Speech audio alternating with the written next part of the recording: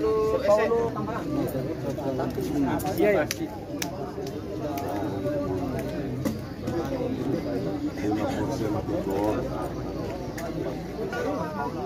Dan baiklah mitra olahraga Sesaat lagi kita akan menyaksikan drama di penutup Rupanya di pesisir Bintang pesisir FC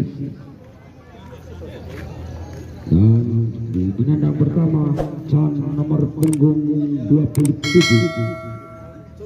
Ese, ese. Ese. Ga, ese bola. Kita pesisir, gampang kan? Iya. Iya. Bintang pesisir Dan kita nantikan mitra olahraga Apakah mampu Rizky Salah satu pemain yang merapatkan salah satu back yang dimiliki bintang pesisir Rizky nomor punggung 10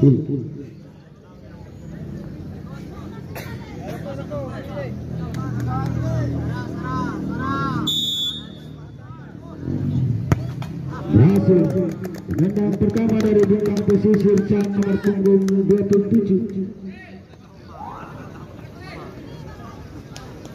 Dan kita nantikan mitra olahraga. Apakah mampu punggung 27 membobol kawannya Ese dan sebaliknya gawang Ese bisa menggagalkan tendangan Chan kita nantikan mitra olahraga.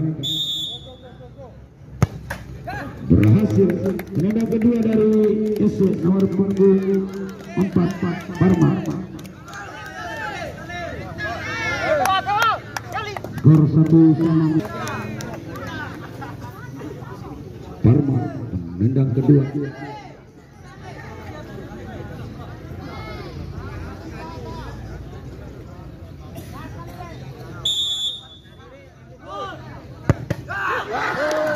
berhasil Nomor kedua tentang pesisir Haris. Kita nantikan Haris sudah berpunggung 55.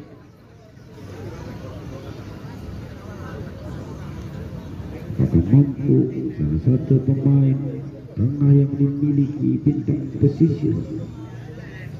Kita nantikan mitra olahraga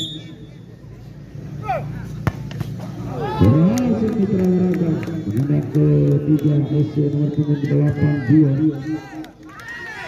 nomor punggung delapan dua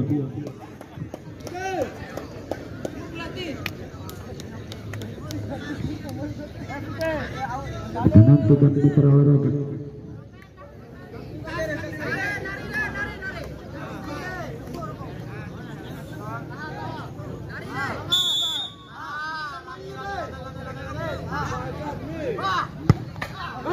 Andra menendang ketiga bintang pesisir.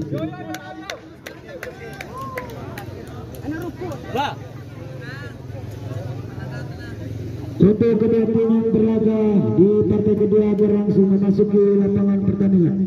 Sekali lagi untuk kedua tim yang berlaga di partai kedua agar langsung memasuki lapangan pertandingan.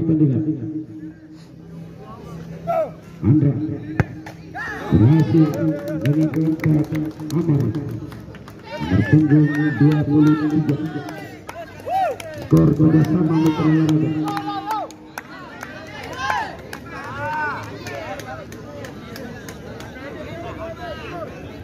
kita nantikan mitra olahraga Amar.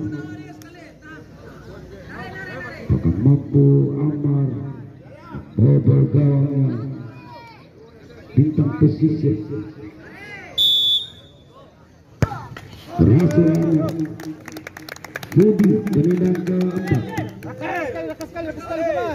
Budi penendang keempat nomor punggung satu.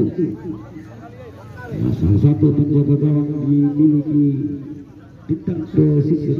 Dipercaya oleh ofisial melakukan tendangan kita nantikan mitra olahraga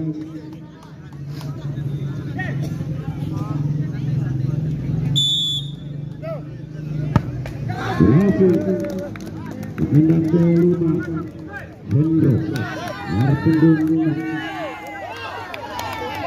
empat sama rupanya kita nantikan mitra olahraga. Dia poe dore. Tidak menghentikan Hendrik. Berhasil Hendrik. Hendrik kelima. Ashar Dojo. Nomor punggung 70. Merupakan penendang penentu mitra olahraga. Apabila tendangan. Azhar Dojo dapat digagalkan kejagalan di bilik Yesus maka otomatis Esela yang akan lolos ke putaran berikutnya apabila masuk ini dengan tiga kita olahraga Selamat, selamat, selamat. Abang, Abang